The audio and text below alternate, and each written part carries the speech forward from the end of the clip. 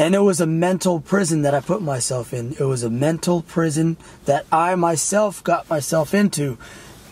You know, maybe my past as a kid growing up, not having mother and father together, you know, that in fact they were never married.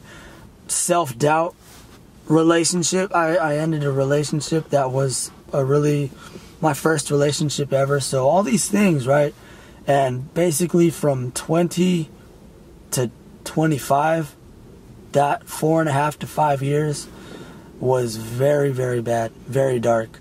My good morning, everybody. It's Demise Media here. I changed my name from Demise Music and Entertainment to Demise Media. It's a lot quicker, straight to the point. This video is dedicated to uh, Arthur. I don't know if it's supposed to be Morales or Moraes, but uh, yeah. So four days ago, Arthur posted a video on my YouTube channel asking, uh, or he said, "I miss you talking about life inside the car like in the old days." And uh, when I read that comment, it was on one of my stand-up comedy uh, videos that I posted. You know, I thought about it. I was like, "Wow, some people really like that uh, side of what I do, I guess, right?" And uh, here I am doing it right now. Thank you, Arthur, for for telling me that. You know, so I think I said uh, that I was pretty busy lately with my girlfriend and my son. Also, been pretty busy, you know, with the band lately. We did a couple shows here and there, and doing the stand up. So I've kind I haven't stopped. See, what I did was I I ended up prioritizing these other things, which is very important to me as well, which is family. First and foremost, man, I have a two year old son. He's a little pain in my butt, okay? I kick his ass all the time. Uh, those are jokes, people jokes. But, you know, uh, prioritize family. And now that I've gotten into the stand up comedy world, I've been doing that, you know, twice a week. I do have time for this. There's no excuses, all right? I do have time for this for sure. But when it comes down to it, I was starting to realize that uh, it is time consuming being a father. It's it's uh, draining. It's emotional. It's emotionally challenging because you have uh, you have to give up your time and your freedom to another person, which is your kid. So uh, you know, you before I would it would just be about me, and then when you get with a a girlfriend or a boyfriend, right? Then you have to worry about them. It's all beautiful, it's all cool, but then you start to realize, uh oh, it ain't about me anymore. It's about this other person. Now we have a kid. So it's just like, oh shit, me and her with each other and then the kid. So it's just this whole like beautiful freaking moment, which we're raising a kid. I feel like a, a man gorilla with his female gorilla and his little baby, you know what I mean? Or a bear and his female bear's little cub. You know what I mean? Like it's nature, it's natural, it's reality, it's a part of this uh, uh, earth that we're just we breed, man. We breed, and I love my son. He's fat. He's uh, he's tall. He's he's really big. He's gonna be two, and everyone thinks that he's uh, like he's gonna be two. Everyone thinks he's three or four. So Arthur, thank you very much, Arthur. Uh, you say yeah that's nice, man. I hope you and your family are doing well. You're such an inspirational guy. Thank you. I make these videos and stand up comedy and music and other videos to because it's what I love to do, first and foremost. Secondly, things like this. You know, these mean a lot to me, these comments. And every once in a while, I get these comments like what Arthur and other people have said, like my friend Christian, who lives here in California that just fucking like hit my heart, man. Hit me corazon. I'm just like, thank you, man. Like it means a lot. It shows that people really care. You know, I want to be as transparent and authentic as possible and give you whoever you are. You can be 50 years old, you can be 15 years old. You can be 45 years old, you can be 70 years old, you can be 5 years old. As long as the message comes across and it strikes you in your freaking mind and heart. You know what I'm saying? Uh, and so Arthur also said, Well, I'm always wondering about your professional life. because you do so many things, lol. And I'd like to know if you ever fighted with any mental issue, like depression. Okay, so uh, per- professional life, I did go to school, like college or whatever, for two, like around a year and a half. But I'm not a school person, so that's not. I worked so many jobs. I got fired from all of them almost.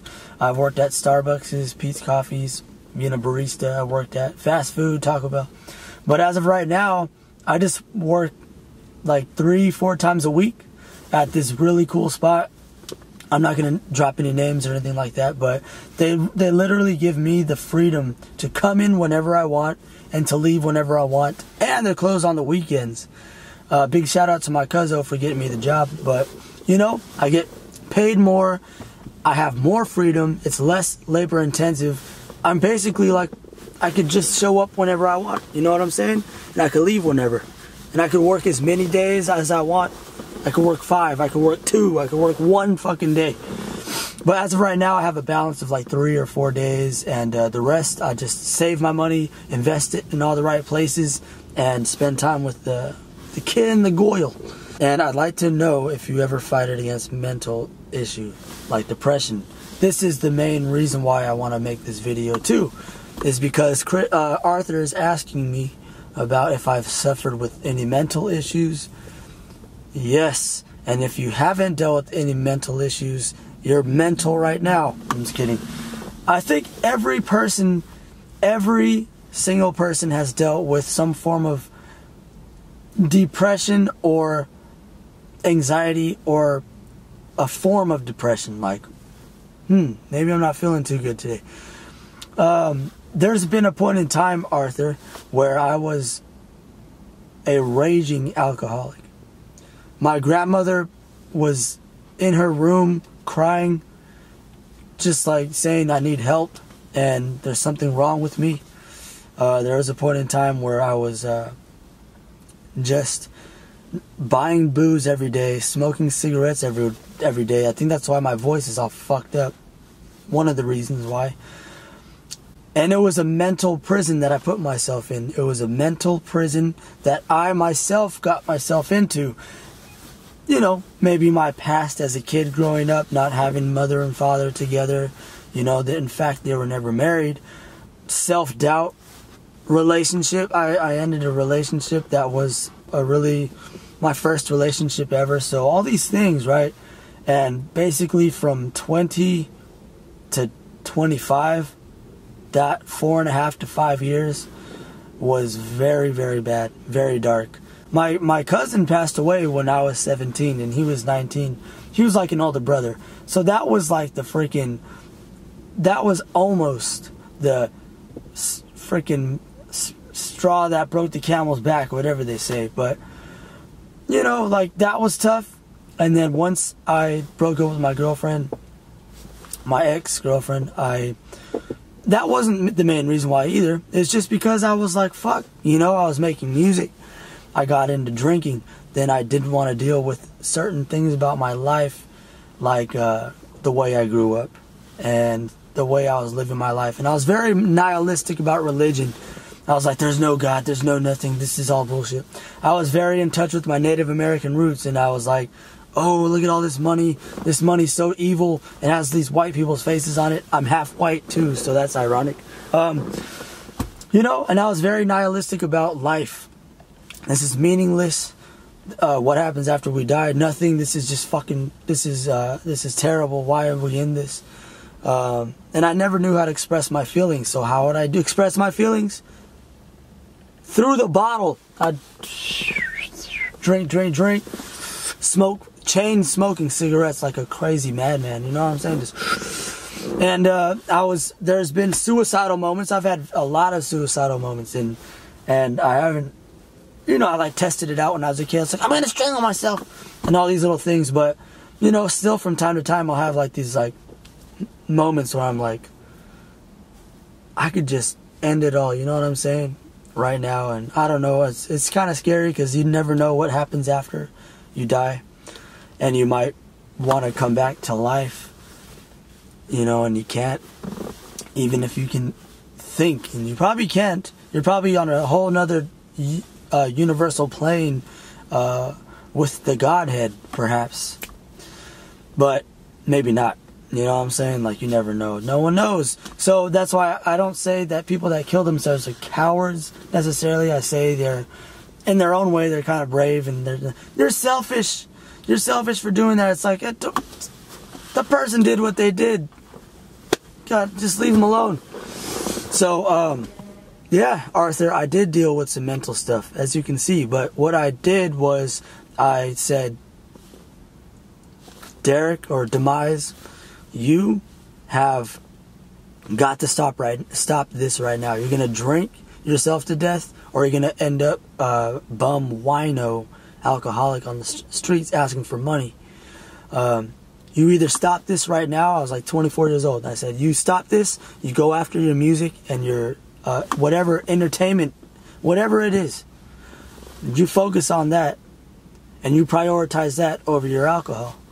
You uh, prior, what are you prioritizing right now? You're prioritizing a beer and some cigarettes. Cut that out. Don't don't quit. Just prioritize something else. And now I don't even fucking drink that much. I drink when I do stand up. Okay, it gets me a little loose. But at home, I rarely freaking drink, so I ease my way into it. I know a lot of people that try to quit cold turkey and then like, oh shit, and they, they're back on the wagon. Me, I, I didn't quit. I, I quit cigarettes. I haven't smoked cigarettes for three years, but I just, you know, it is what it is. But Arthur, yes, I've dealt with mental issues, and if you are dealing with mental issues, Arthur, let me know, man. Like, just be be authentic about it, be transparent, let people know, talk about it.